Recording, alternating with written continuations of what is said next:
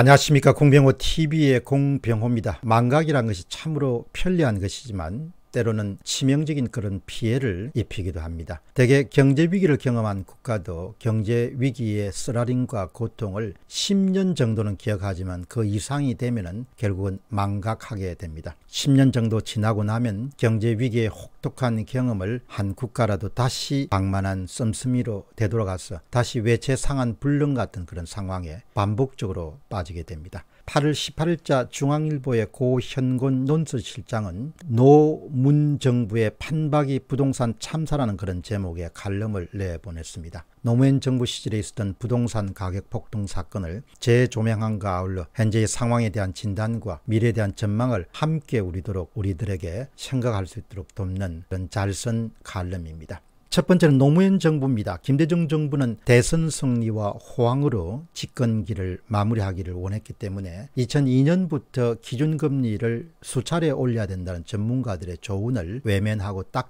한 번만 올렸습니다. 결과적으로 2002년도 7.4%의 깜짝 성장과 함께 노무현 여당 후보가 승리를 거두는데 큰 도움을 받았습니다. 2002년도 과열의 대가로 곧이어서 신용카드 대란이 터지게 되자 금융경색을 막는다는 그런 명목으로 다시 2002년부터 2004년 사이에 금리를 더 내리게 됩니다. 물론 명분은 금융경색의 해소와 경기 부양이다는 그런 목표를 내걸었습니다. 바로 이 점에 대해서 고형군 논설시장은 그 당시의 경험을 이렇게 이야기합니다. 미국은 9.11 테러의 충격에서 벗어나면서 금리를 올리던 때였습니다. 시중에 돈이 넘치자 부동산이 버블 세븐이라는 신조어를 만들면서 고공행진을 계속했습니다. 뒤늦게 금리를 올리고 종합부동산세를 만들고 대출을 억제했지만 한 번 불붙기 시작한 부동산은 식을 줄 몰랐습니다. 집값 급등은 2008년도 글로벌 금융위기라는 외부 충격 때문에 강제로 멈추었을 때까지 이어졌습니다. 노무현 정부는 임기 내내 부동산 설거지를 하다가 지지율이 12%까지 떨어지기도 했습니다.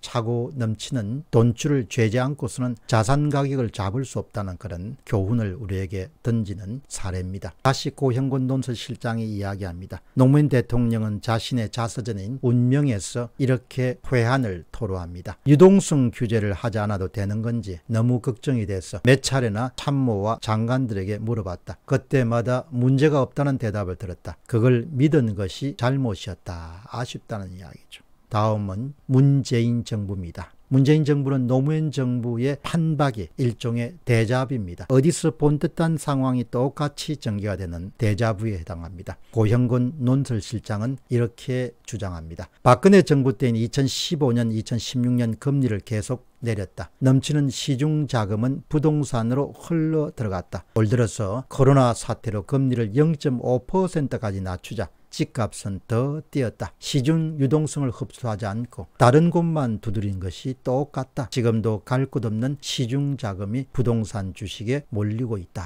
이렇게 이야기를 합니다. 다음 질문은 결말은 어떻게 란 주제입니다. 2010년도 하버드 대학의 케네스 로고프 교수가 집필한 이번엔 다르다는 그런 저서에서는 800년 동안 일어났던 금융위기 사건들을 집중적으로 분석한 결과에 따라서 이런 결론을 내립니다. 금융위기 이전에는 반드시 경제 호황이 발생한다. 그 호황은 실물 경제와 유리된 자산 가격의 폭등의 모습을 취한다. 그때마다 사람들은 이번에는 다르다는 생각이 유행하게 된다. 그러니까 구체적으로 사람들은 이런 생각을 믿는다. 과거의 수많은 호황기가 재앙으로 막을 내렸던 것과 다르게 지금의 호황은 건전한 기초 위에 세워졌고 구조적 계획이 완성되었으며 기술의 진보와 훌륭한 정책 기반 위에 경제 구조가 세워졌기 때문에 이번 호황은 지금까지 호황과 차원이 다르기 때문에 문제가 없을 것이다. 이런 생각들이 광범위하게 공유된다는 겁니다. 특히 금융위기가 터지기 전에 일어난 한 가지 공통점은 자본 흐름과 자금의 대량 유입입니다. 이래서 여러분들 주목해야 될 것은 자금이 대량 유입된다는 것이 바로 금융위기가 터지기 이전의 상황을 뜻합니다. 그러니까 자본의 지속적인 유입이 이루어지고 또 대부분 신흥시장에서 위기 이전에는 신용호황이 두드러진다. 돈을 막 빌려서 뭔가 투자하고 하는 신흥시장에서 위기 이전에는 신용호황이 눈에 도드라지게 드러난다는 것. 돈을 빌려서 뭘 사고 하는 일들이 굉장히 유행한다는 겁니다.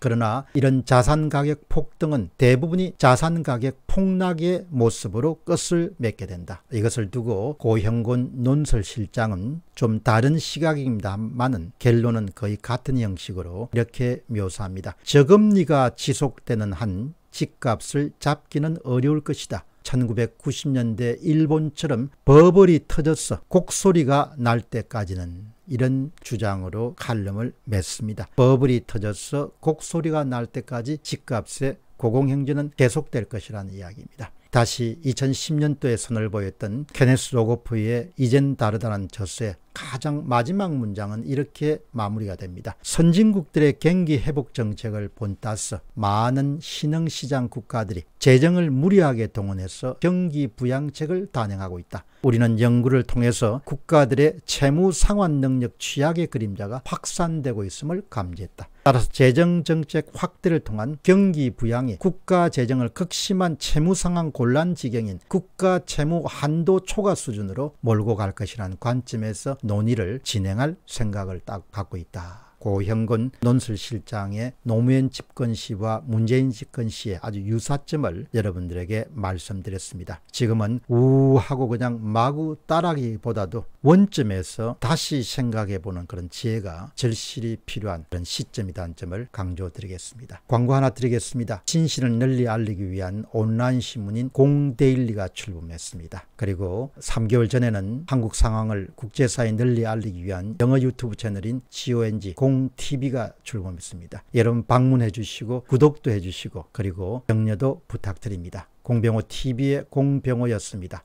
감사합니다.